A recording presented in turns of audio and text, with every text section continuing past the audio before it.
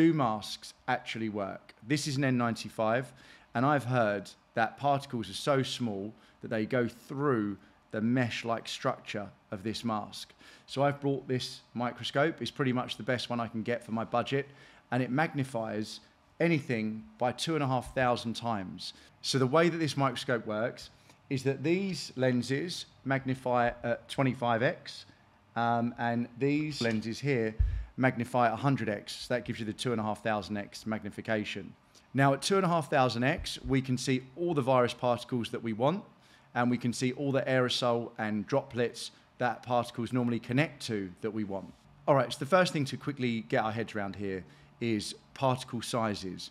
So when I tell friends who aren't into science about the size of a micron, um, it kind of puts them off because anything really big or anything really small is kind of hard to imagine. But a micron is really simple. It's just one micrometer. So the best way to think of a micron or a micrometer is one thousandth of a millimeter. So a millimeter divided into a thousand little bits, that's one micron.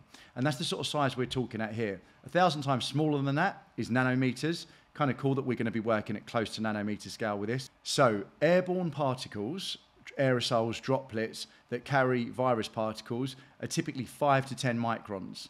Now, because this amplifies or magnifies what we're going to look at by 2,500x, we can go way smaller than, than a micron. Now, there is a slight resolution issue you get here when you go to that kind of size, and that's better to use uh, high resolution microscope, uh, or actually, it's really good to use uh, electron microscopes if you really want to look at virus particles in detail, but that's another video. And if you want me to look at electron microscopes, please leave uh, something in the comments below and I'll, I'll make a video on electron microscopes. So although the particles are 5 to 10 microns across that we're looking at, the actual virus particles that we've come across the last few years are even smaller than a micron. And even though this can see it, the resolution won't be very good. So we want to see if this mask works by putting it under the microscope. So to show you what this mask looks like under a microscope, I've purchased this because only I can look through, uh, through this and, and, and focus everything. But once I have everything focused in here, I've purchased this, which is a 5 megapixel microscope camera.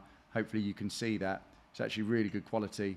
Um, and this basically just sticks into one of the um, lenses here, and then I can show you everything I can see through this microscope. We're going to see that this N95 mask has a mesh-like structure to capture particles. N95 actually means it's 95% efficient at capturing 0.3 micron particles from going into the mask. So what I've heard is that if certain virus particles are 0.1 microns and that a mask can stop particles up to 0.3 microns, then those little virus particles will just float straight through the mask. And that's what I want to find out here. So if you see these dots here, that's these dots moving around here. So let's look at 250x. You can see the mesh-like structure. This is actually made of polypropylene. Some masks are made from polyester, nylon or cotton.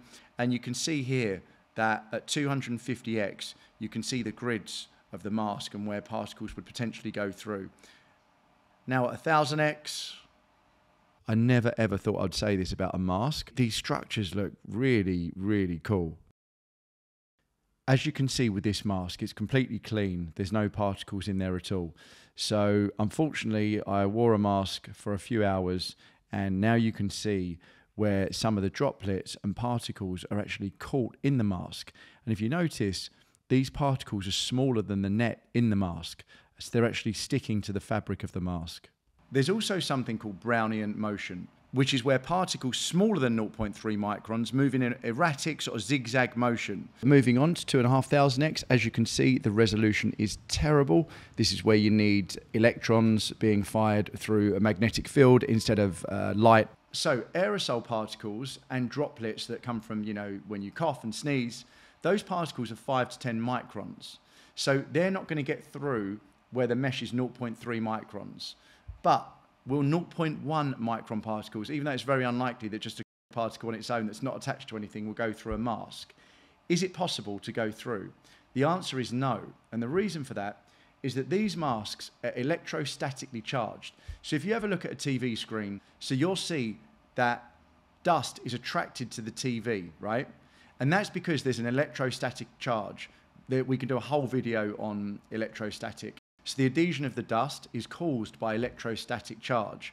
And the same with this mask. For even smaller particles than the size of the mask at 0.3 microns, electrostatic charge causes these tiny particles to attach to the mesh of the mask.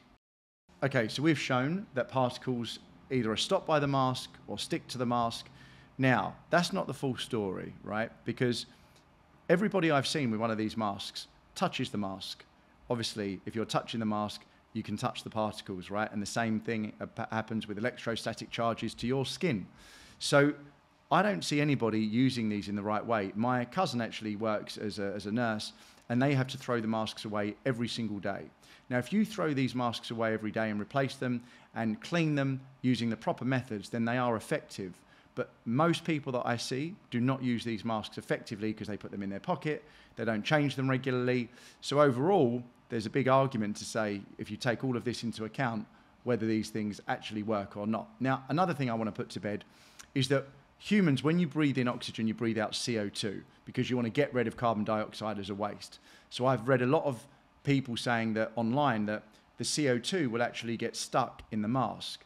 Now that's actually not 100% true because CO2, you know, one carbon, two oxygen atoms are actually in a linear pattern. They're, they're just in a straight line and the size is 200 picometers. So it's a thousand times smaller than 200 nanometers, which is a million times smaller than 200 micrometers. So, that, so carbon dioxide should literally just go through the mask. Now, I'm sure some would get caught in and you'd rebreathe in some. I'm pretty sure about that. But the majority of carbon dioxide would go out. So hopefully that's another fact debunked. The thing that I've always learned is that natural immunity is strongest. Okay, if you're overweight, I don't want to go into actually the overweight and the old thing because everybody knows if you're overweight or you're old, very susceptible to the virus. But if you're young, fit, and healthy, I think natural immunity is the best form of protection.